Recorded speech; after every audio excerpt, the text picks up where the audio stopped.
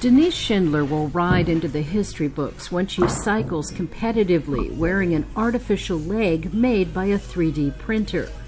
The revolutionary limb was designed in the U.S. by the company Autodesk, but the limb was produced in Germany.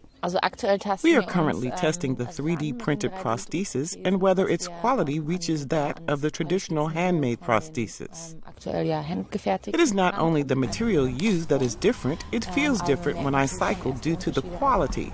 But we are on the right path to reach the right stiffness and aerodynamic.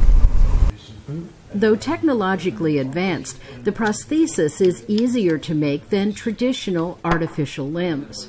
With a 3D printer, a relatively simple scanner, and a cheap laptop, with this software it will be relatively easy to make a prosthesis in similar quality in a fraction of the time with very little know-how. The cyclist lost her lower leg in an accident when she was two years old. Now 30, Schindler recently presented the printed leg at Hanover Messe, one of the largest industry fairs in the world, to President Barack Obama. It was a very interesting experience. I was, of course, also very proud to present the project because it means a lot to me. I was surprised to see how informed the president was about the issue. He was very positive about it.